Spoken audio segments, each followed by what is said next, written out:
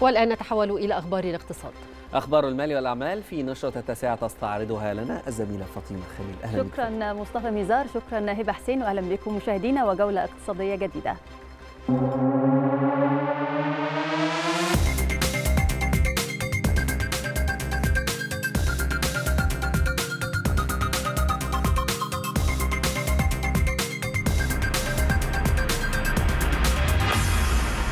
دشن وزير البترول والثروة المعدنية طارق الملا المرحلة الأولى من مشروع غرفة التحكم والمتابعة الآلية لمنظومة تكرير وتصنيع البترول بمصاف التكرير بمقر الهيئة المصرية العامة للبترول وذلك في إطار التوسع في مشروعات التحول الرقمي. وأكد الملا على أهمية مشروعات التطوير والرقمنة في تدقيق البيانات لسرعة اتخاذ القرار في التوقيت المناسب خاصة في مجال التكرير الذي يعد الركيزة الأساسية في استدامة تأمين احتياجات السوق المحلي والقطاعات الاقتصادية من المنتجات المنتجات البترولية. هذا ووجه المولى بالإسراع في تنفيذ كافة مراحل المشروع والمراجعة الدورية لكل مرحلة فضلا عن الاستعانة بالكوادر الشابة. كما تابع المولى سير العمل في غرفة رصد حركة النقل وتداول المنتجات البترولية من المستودعات إلى نقاط البيع وأماكن الاستهلاك من خلال تطبيق التكنولوجيات الرقمية الحديثة وتطبيقات التحول الرقمية.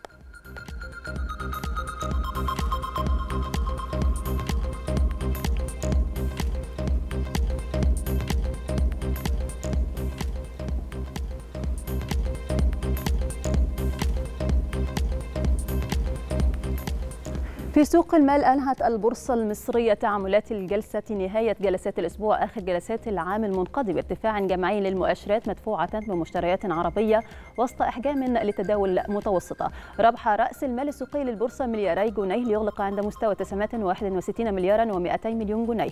على الصعيد المؤشرات ارتفع مؤشر EGX 30 بنسبة 14 من 100% ليغلق عند مستوى 14598 نقطة. كما ارتفع مؤشر الشركات الصغيرة والمتوسطة المتوسطة EGX 70 بنسبة 37 من 100% ليغلق عند مستوى 2800 ونقطة واحدة. صعد مؤشر EGX 100 بنسبة 35 من 100% ليغلق عند مستوى 4145 نقطة. في أسواق البترول العالمية تراجعت أسعار النفط حيث أضعفت ارتفاع حالات الإصابة بكورونا في الصين الأمال في تعافي الطلب على الوقود في ثاني أكبر مستهلك للنفط في العالم. انخفضت العقود الآجلة لخام برنت تسليم فبراير بنسبة 5 من 10% إلى 82 دولار و84 سنت للبرميل. بينما هبط الخام الأمريكي بنسبة 6 من 10% إلى 78 دولارا و46 سنت للبرميل. كما تراجعت أسعار المازوت عالميا بنسبة 2.31 من 100% لتصل إلى 3 دولارات و23 سنت للتر كما انخفضت أسعار الغاز الطبيعي بنسبة 2.8 من 10% لتسجل نحو 4 دولارات و55 سنت لكل مليون وحدة حرارية بريطانية.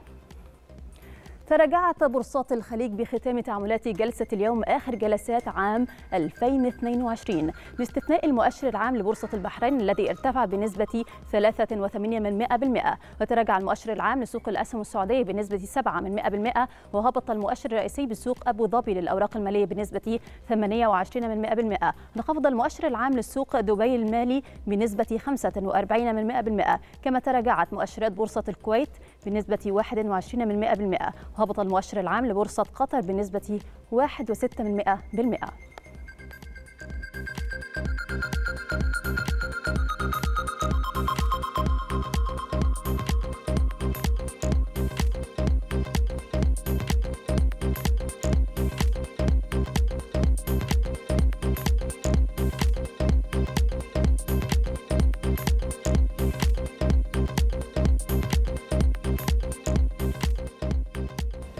مشاهدينا نهاية هذه الجولة الاقتصادية عودة مرة أخرى لهبة ومصطفى لاستكمال ما تبقى من التاسعة. شكرا لك فاطمة على هذا العرض الاقتصادي الرائع.